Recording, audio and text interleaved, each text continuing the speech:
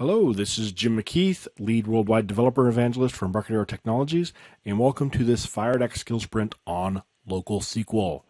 Great thing about FireDAC is it works everywhere across all platforms, all languages, and all tools. This is local SQL, so it's available in Pro as well as Enterprise editions, and uh, like I said, all languages, all platforms, etc. Great stuff. If you're developing now, you can take advantage of this technology. So FD Local SQL lets you run SQL queries locally on any T dataset descendant.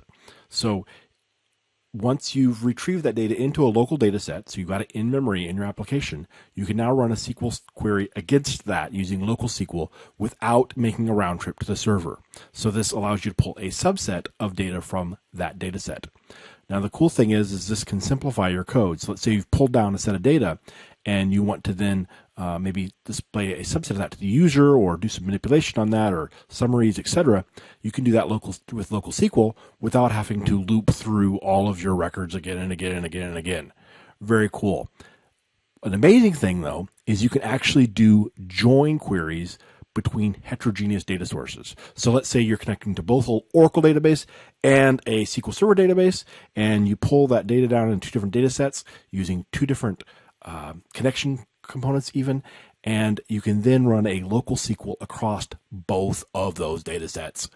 Wow, so cool. Very neat stuff.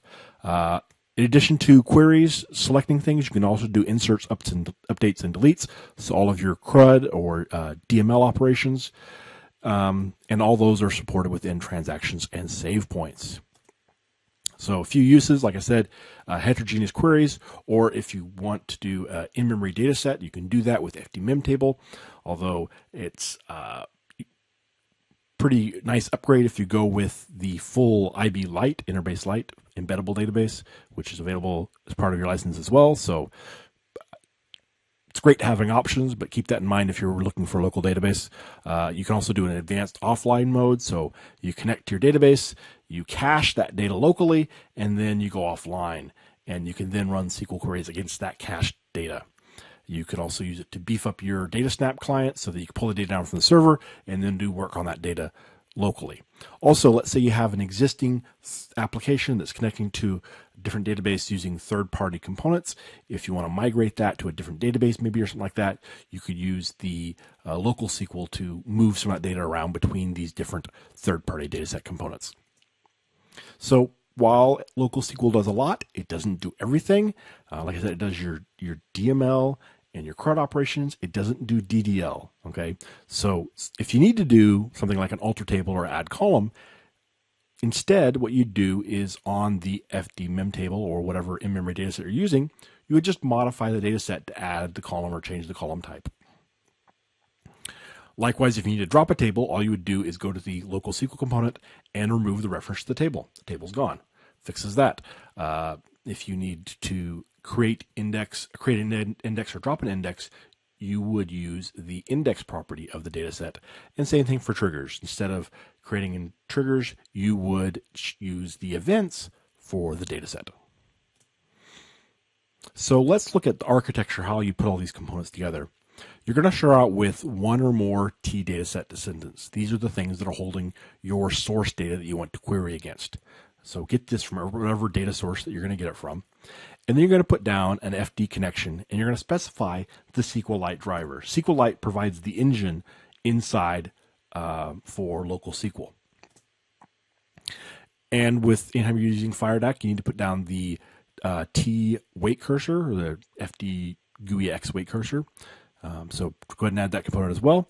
Then you're going to put down an FD local SQL component and connect it to that connection. Once you've done that, on the FD local SQL component, there is a date property that's a collection of data sets. So you're going to use that property to specify all the data sets you want to include in your uh, local SQL engine. Okay, simple enough. Then you're going to put down a FD query or FD command, and you're going to put all your SQL in there that you want to execute against those uh, data sets. And then you just have to activate everything. So you want to activate your data sets that are your source your data first, then activate your local SQL second, and then activate your query component last so that it's able to pull the data. So when you activate TFD local SQL, that's when it sets up the local SQL engine. So it has to have those data sets active so it's able to interrogate those. And then you activate the query, it connects to the local SQL engine in order to pull those pull the data out for you. Let's take a look at FD local SQL in action. Now I wanted to create a sample, a demo here that showed the flexibility and power of local SQL, but also hopefully is easy to follow and understand. So uh, hopefully that's what I've accomplished here. Hopefully at least it's really cool. so here what we have is I've got one, two, three, four, five entirely different data sets. Okay, we have uh, ADO data set, uh, FD mem table, IBX, T client data set, and a, a DB Express data set. All right, and so each of these are pulling a different set of data down, and we're going to query across all these using local SQL. So let's walk through this here. I have a uh, DB Express customers table, a REST components here that are going out and querying a REST service and populating a client data set. Now, normally I would populate an FD mem table, but I wanted to use a T client data set just to mix things up and show flexibility. Here we're using IBX to get our sales table. Here I'm using an FD mem table and I'm populating it via code. So right here I'm adding in some records into it. So this is a simple uh, table that's just going to provide uh, a, a, union between two different tables. Um, I've also saved off to a file so that I can load it at design time. So that makes it easier to demo, but it also can be populated via code. And then lastly, I have ADO connecting to a um, access database and it's getting our regions table. Okay, so whatever data source you're using, an ET dataset descendant, uh, these are all the ones we happen to ship, but it could be a third party dataset descendant. Doesn't matter. However, you're going to connect to a database, however, you're going to populate a dataset, do that. Then you're going to put down your FD connection and specify the driver name of SQLite. Remember, also put down your wait cursor uh, it's going to be specific to whichever platform you're on. Um, and then you're going to put down your local SQL component. So local SQL component is specified the FD connection that we put down that's pointing to SQLite. And then we come into our datasets property. And in this collection here, we specify all of the data sets we want. So I have the uh, CDS REST, and then I've given it a friendly name of REST. So the cool thing is about the friendly name is in my SQL I'm going to write, I just reference it by that friendly name here. So the customers table becomes customers. Okay, very cool there. This provides us a nice little layer of uh, uh, indirection to those components. So we're not stuck to whatever the table name or component name is for the source. Once you've done that, then you put down your FD query or FD command. In this case, I'm using a query. Point it to the same connection here, so FD connection, and write your SQL. Now what I have here is a join that's going to go through and join users tables, even with an outer join down here. Ooh, exciting stuff. Um, before I run that, I'm going to do a little spelunking. So we'll come up here and I'll just put a little uh, comment on this. And so let's go ahead and do select star from customers. So this is going to do a local query against this data set. There we go there. There's our customers table. Um, this is really cool. Watch this. I can do a SQL query against a REST data source. Oh my goodness, that is so cool. Go ahead and um, resize this here so you can see some of those columns. With with uh, REST JSON, there's nothing that specifies the column width, and so all the columns are huge, but that's okay. Um, you can see the data's there. Okay, so now let's do a a query against uh, IBX. That's the sales table. Execute, you can see that. And now we're going to do a query against the in-memory dataset, the FDMem table. Now the cool thing here is this dataset was populated from code. So anytime you have some data that is in columns and rows and you think, oh, wouldn't it be great if I could run a SQL query against this data? Guess what? Now you can. Watch this. I think it's called uh, REST sales reps. That's got a long one because it's a yeah one to one relationship here. So it's the ID, the REST ID, which is comes from here, and the sales rep from here. So it's just joining those two values together so that I can do a join for it. Okay, so I'm not going to do the ADO, behaves the same way, but this is really cool, really exciting that I can run a SQL statement against a REST data source. I can run a SQL statement against an in-memory data set that was populated in code, and now for the coolest part ever is I can actually do a join across all these different data sources. Watch this. Boom! Look at that. I just did a query across a REST data source, across an in-memory data set, across uh, access table, uh, interbase, IB Express, whatever. It doesn't matter. I can do queries against it. Uh, just one column from each table here just to show that I'm connected to them. But uh, very cool stuff. So you can see here, this is region descriptions outer join. So we scroll down to the bottom, we see some of those records are missing. That's okay. Outer join works. Cool stuff very cool, very exciting. This is hopefully you're excited about this. You're as excited about this as I am because this is really cool stuff. Uh, very amazing to be able to do this and to, to do it so simply. All you have to do is include the connection, the local SQL component, and then your query, and you're off to the races. This has been a uh, introduction to FD Local SQL.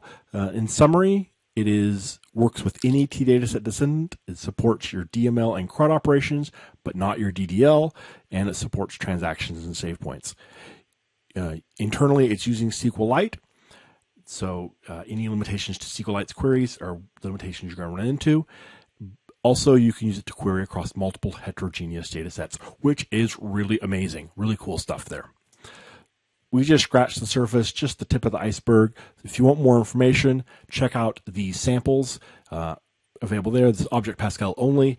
There, I believe, three different samples in that folder, and some of them are pretty interesting. So check those out there. You may need to edit data sources, etc., to make it work, but I was able to get them working and play with them. The doc wiki has some articles in there. So the first one is an overview of local SQL, walks you through the steps and the requirements, etc. So good information there. And the second link that you see there is the library reference. There's some links down here at the bottom. The most important one is the one in bold, which is the link to delphi.org slash question mark p equals 1951. And that has a link to everything else you see here. So if you don't write down those complicated YouTube links, don't worry. Just visit my blog and you can get the links to those as well as in the future the replay slides, stuff like that as well. So, uh, first video you see there is Dmitry's uh, video about FireDAC local SQL. So much more information than I was able to provide in this video. And Dimitri is the author of FireDAC, so you can't get more authoritative than that. Check that out for more information. Also, the Code Rage 9 video he did on FireDAC's tips, tricks, and news. Not specific to local SQL, but very cool stuff. Most recent video he's put out about FireDAC. So uh, check that out for some good information, good overview, more information about uh, local about FireDAC.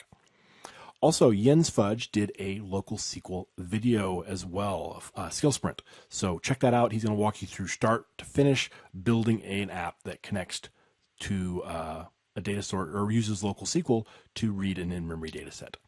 So check that one out as well. Very cool stuff. So next time we have a preview of Box 2D. This is a sneak preview for a future release. This is part of the regular Skill Sprint series. So make sure you're signed up for the regular Skill Sprint series at the link down at the bottom. It's the first sign up box on the left once you get there.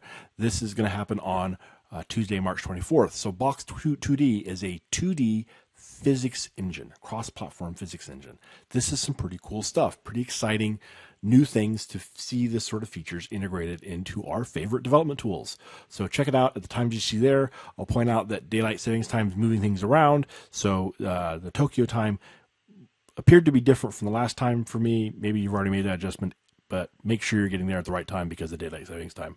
We go off San Francisco time, so use timeanddate.com and uh, figure it out from there. Next FireDAC skill sprint we have is the BDE to interbase migration. So this is going to tell you how to migrate away from Paradox and BDE, which are deprecated, to Interbase, IB Lite, and FireDAC. Take advantage of all these great new features in your applications that are still taking it, still using BDE and uh, Paradox. That's on Thursday, the 26th of March, at the times you see there.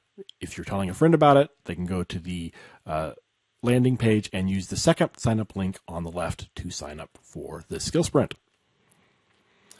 Also, I want to tell you about the special offers. Right now is the perfect storm, the pinnacle of special offers. All these great things have come together at once to give you the best opportunity to upgrade to XE7. So, not only do you upgrade to XE7 from any previous version and save up to 45% because you get upgrade pricing. So, if you're on uh, Delphi, whatever, Rad Studio, any version, upgrade to XE7, save 45% upgrade pricing. Uh, also, you get the next version free, which we're going to have a preview of. We've had a few other previews of, so see some of those new features and say, hey, I got to have them. Upgrade to XE7 now, and you get that version when it's released. Also, if you upgrade to Enterprise, you get 10 users of a 10 user license of EMS for free. EMS is the new enterprise mobility services. Lots of great features there. Um, also, you get the free bonus pack, $700 value. It's got books, add ins, productivity tools, cool stuff there and the BOGO, buy one, get one. You get another tool of equal or lesser cost free in addition to your purchase. All this expires March 31st, so don't let time run out. For more information, visit embarcadero.com slash rad offer. And now it's time for Q&A, but I will bring up that slide with more information for you. So if you need to copy down those links, you still can. I hope this is not confusing. Just make sure I'm hearing what you're saying. You can run a query on a database returning a result data set. Then you can run local SQL to further query the result data set, creating a new data set. Can I then repeat and run a local SQL on the result data set from that local SQL data set? You know what? I have not tried that, but there's no reason why you shouldn't be able to do that uh, because you would have to create a whole new instance of local SQL and a whole new FD connection. So what would result is you'd have a whole new um, instance of the local SQL engine, and then yes. So yeah, I, I haven't tried that, Paul, but uh, I don't see any reason why not. The uh, I just realized that link uh, 1951 is not live yet, so I will get that live very shortly here after we're finished with the Q&A. I apologize for that. I was recording last night with my new setup and I had something messed up and I had to re-record everything again. So I was spent a lot more time on the recording than I would have liked. Um, so there's a link here. It says uh, asking about or a question here about why is the JSON produced by uh, saving a FD memtable to file larger than saving an FD query to file. I haven't actually compared those JSON files directly, which is what I would need to do, but I believe that because the FD memtable is actually defining a table in memory, it probably has some additional metadata that's being saved off. Um, so you have to look at that. Look at that and compare those two files to see what the difference is. Uh, Antonio pointed out, pointed out finally a real BDE replacement with heterogeneous join. I know this is so cool that you can do this. Um, one of the other examples that's in the samples folder shows doing a, uh, a join between a CVS data source, so it's loading data from comma separated values, and in-memory data set. So cool, so cool that you can just treat all data sets the same. It doesn't matter where it's coming from. You can now uh, use it however you want to. Uh, Craig wants to know how transactions are handled when querying data from multiple data sets, databases. So if I understand correctly, the um, when the before the transaction's committed, when you're making an update to local SQL, the data is all within the local SQL engine. But then as soon as you commit that um, update, then it is written to the target databases, or uh, sorry, the target data source data sets. Now, it's still possible that after that you could, um, or you would at that point you would need to then commit that data set to the database. Okay, so you have an additional level of indirection here. You have the local SQL engine, where you can make updates and commit them there. And then for local SQL engine, once it's, they're committed from there, they're committed to the data set. And then once you're satisfied with that, you can then uh, push the update from the dataset to the database. So uh, David was asking a link to the replays. There is the uh, YouTube playlist, which is in there. You can just go to the YouTube, and it has a playlist listing all of the. Uh, that's the most recent, most recent replays there. I can have all of them up there on YouTube as soon as they're up there, which they get there pretty quick. Um, you can also go to the Skill Sprint landing page. To the YouTube channel landing page, that's got everything. The de- developer skill sprints, it's got the developer skill sprints and the Fire DAC. But if you go to the YouTube channel, you can also there's a separate list just for FireDAC skill sprints. And David's asking, do you still use data modules? Uh, yes, you can still use data modules, including put all the non-visual components you saw Jim use in this demo. Uh, data yep. modules have been around for a long time, and they work with live bindings as long as the used unit is available in your user interface unit, your form unit. So yes, uh, data modules. Yeah, by all means use data modules. I just um, didn't use them here because I wanted to have everything visible at once on the form. But I could have done this all just on the module as well instead of a form. But then I couldn't have had the nice little group boxes to show where everything was. How and everything for some reason, I'm getting multiple posts. I guess I'm not sure if people are clicking multiple times or if it's because of some Mac version of GoToWebinar. But in any case, uh, Gene is asking, is there a way to access the resources? And when Jim posts that link live, delphi.org slash question mark p equals 1951, that blog post, when that's live, then that page will have all these links. So, yep, I'll have all those. All the links you see on the screen will be up on that blog post at uh, 1951 in yep. just a few minutes after this ends. And for the rest, it's like Google search FireDAC local SQL, FireDAC Jens Fudge uh, local SQL YouTube or something. But but maybe in the future, Jim, we'll have to get all the presenters to have their URLs ready in like a notepad and paste them into the chat window or something like that. I mean, that's a, a good idea. Or if they get them, maybe I'll ask them from the presenter so I have them and I can just be pasting them into the chat window. But the main one is just go to delphi.org. Remember that number or not you can see Jim's blog in the case of Jim. Yep. Uh, so Lars is asking for the local SQL engine syntax. Uh, we follow the SQLite dialect. Yes, it, it's running. It's using SQLite as the engine. So uh, when you're getting down to the more specific things, you're dealing with SQLite at that point. So that link there, the first one that said the DocWiki Rad Studios Ian local underscore SQL underscore FireDAC yeah, talks about that a little more detail. So check that one out. Question here from George asking if uh, the DB components can be dynamically uh, can be loaded dynamically from DLL files, and if the components support multiple database connections. I, as far as I know, the answer is yes to both of those. Um, I, probably the best way to do it would be to do it through packages, load the components through packages, but um, uh, there's lots of different options as far as how to ta- tackle that. And yes, you can support multiple connections. Yeah, just drop down multiple FD connection components. Uh, as you mentioned, Jim, if you were talking to Oracle and Interbase and maybe MySQL to do something with local SQL via all of those, just multiple FD connection components or uh, open up an FD connection component, set the parameters and types, get the data you need, close the connection, change the parameters of the connection. So you could do it with one FD connection as well, just by caching the data after you did the query before you close the connection. Sure.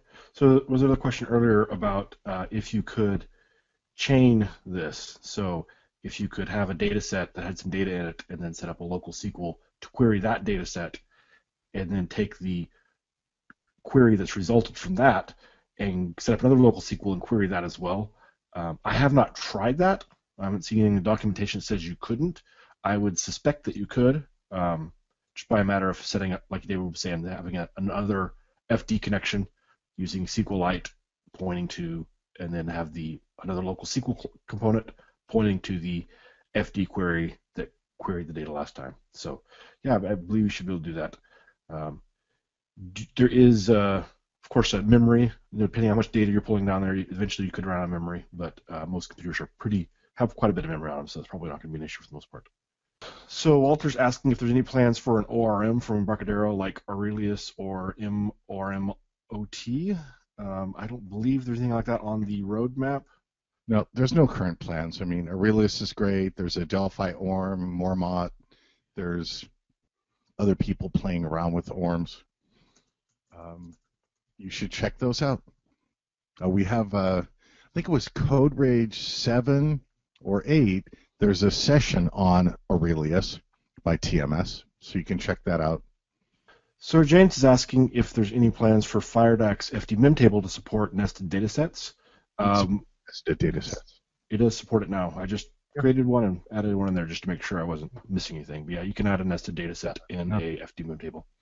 So uh, Heather was asking if there are multiple tables that, from the same database that you want to include in your local SQL engine, what's the best way to do that? I believe that you're going to want to have a separate data set for each one because the um, data set collections, data sets collections on the local SQL component is going to point to actual data sets. So that's going to be the best way to uh, provide those. Um, so yeah, you're probably going to want to. Someone was asking earlier if you wanted to, if you need to do this all in the main form or if it could be done in a uh, data module. Data modules, by all means, the way to go. I just did them on this uh, forum so that I could put the little group boxes around things and show how everything lined up nicely. So yeah, definitely put them on data, data modules, and uh, you can include, should be able to include data sets from different data modules in the local SQL engine as well. And I guess also at Heather's question, I was reading it as if some of the tables are related to each other inside of the single database, you could do a SQL select. You end up with a new data set that you would have in memory, but I guess it depends on That's true. what you need to do with those with the data from those different tables. Yeah, so if you have if that's that, that's something really cool about this, and I didn't really get into it. There's so much cool stuff about this feature, but you're you're not just limited to including data sets containing just single tables in there. It could be a data set or a query component that is querying across multiple tables, uh, doing you know complex SQL magic in there, and then take that result set in the data set and then do another local SQL statement on there. And so when you think about this as being able to do multiple steps of SQL statements, then that's where you're really unlocking the power of local SQL is that you're able to really leverage the set operations that SQL give you gives you to uh, get a lot more done with a lot less code. Uh, Neville is asking what version of FireDAC this was introduced in. Uh, is it recent or is it available back in um, XE4? Okay. FireDAC was introduced late for IO XE4. Okay. And it was rolled in as FireDAC. It released in XE5, I'm pretty sure.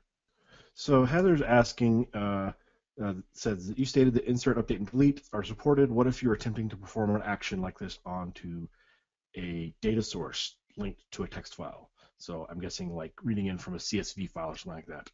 Uh, and then if this works just fine, which in parentheses, wow, editing fi- text files via SQL, I know it's pretty amazing, isn't it?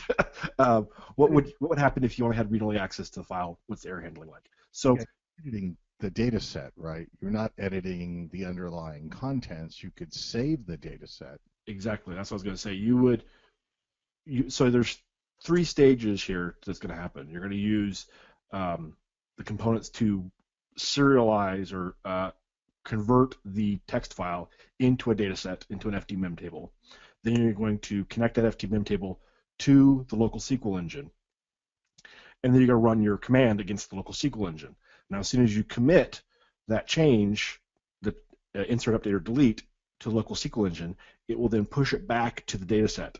And then at that point, you would then need to take the data set and write it back to the text file. So at that point is when you would get the error like, oh, hey, you don't have uh, write permission to this text file, and you'd be able to deal with it during that portion of the operation. Something I love about the questions is there's always all these things like, oh, I hadn't really thought about that, but that's a great question. that's a really good idea. I had someone earlier ask uh, if uh, you could chain uh, multiple